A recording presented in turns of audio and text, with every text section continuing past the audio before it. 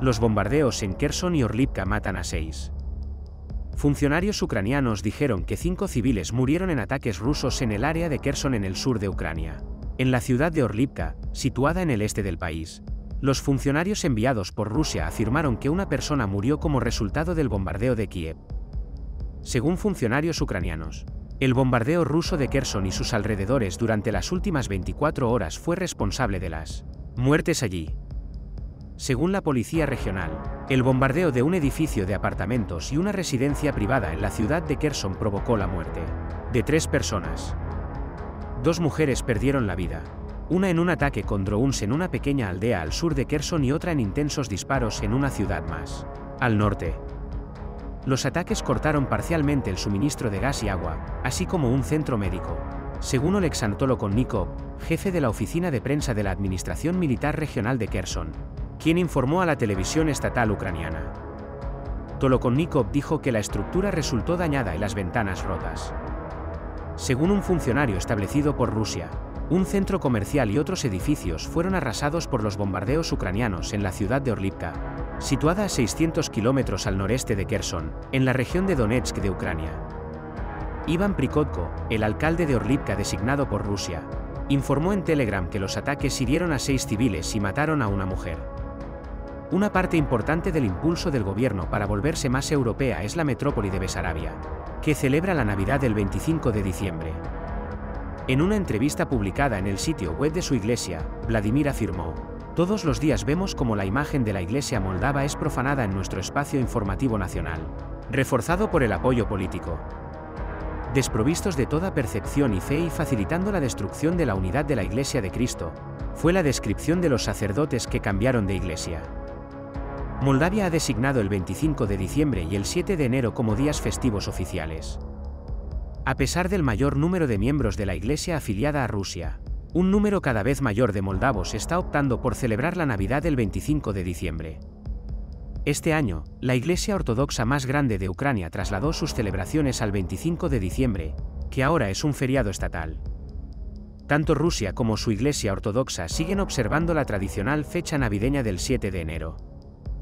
La presidenta de Moldavia, Mala Sandu, ha dejado claro que no quiere tener nada que ver con la controversia que rodea a las dos iglesias y a las personas que asisten a ellas. Cuando se le preguntó la semana pasada cuál de los dos días celebraría, evitó responder directamente y afirmó que pasaría la Navidad con su familia cercana en Chisinau el 25 de diciembre y luego regresaría a su aldea natal, cerca de la frontera con Rumanía, el 7 de enero. El puerto de Feodosia, en Crimea, quedó envuelto en llamas tras una explosión masiva el martes por la mañana. Después de que las imágenes de la explosión en el puerto controlado por Rusia se volvieran virales en línea, el comandante de la Fuerza Aérea Ucraniana se atribuyó el mérito en Telegram. La flota en Rusia es cada vez más pequeña, afirmó el teniente general Mikola Oleschuk, quien informó que el barco de desembarco ruso Novocherkassk fue atacado. Después del incendio original, se produjo una tremenda explosión secundaria.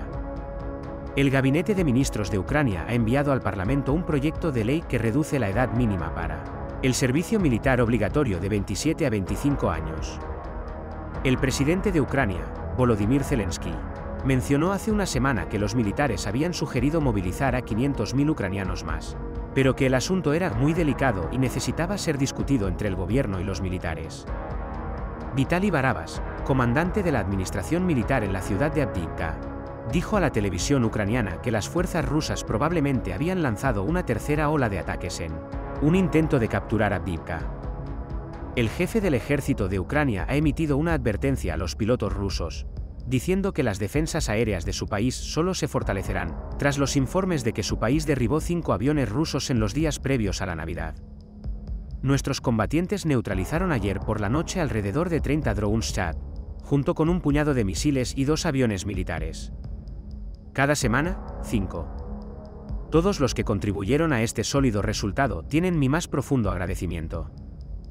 A diferencia de Rusia, que adoptó una fecha posterior para la Navidad, los ucranianos celebraron la festividad del 25 de diciembre como día festivo por primera vez. Este cambio se produjo debido a la invasión rusa. Nos estamos separando del vecino que actualmente está tratando de destruir nuestro Estado, ¿Qué está matando a nuestra gente, destruyendo nuestros hogares y quemando nuestra tierra? dijo Oksana Poviakel, directora del Museo Cultural Ucraniano con sede en Kiev. Rusia ha terminado de enviar armas nucleares a Bielorrusia, según el dictador de ese país, Alexander Lukashenko, lo que ha causado gran alarma en la vecina Polonia y otros países de la zona. Según se informa, el ministro de Defensa ruso, Sergei Shoigu, dijo a los medios de comunicación que los soldados rusos habían tomado el control total de la ciudad de Marinka, en el este de Ucrania. Kira Yarmis, portavoz de Alexei Navalny, ha revelado que el opositor encarcelado del Kremlin está alojado en un campo correccional en la zona ártica de Yamal-Nenets, en el norte de Rusia. Según el medio de comunicación ruso TASS, los miembros de la Unión Económica Euroasiática, liderada por Rusia, han firmado un acuerdo de libre comercio con Irán,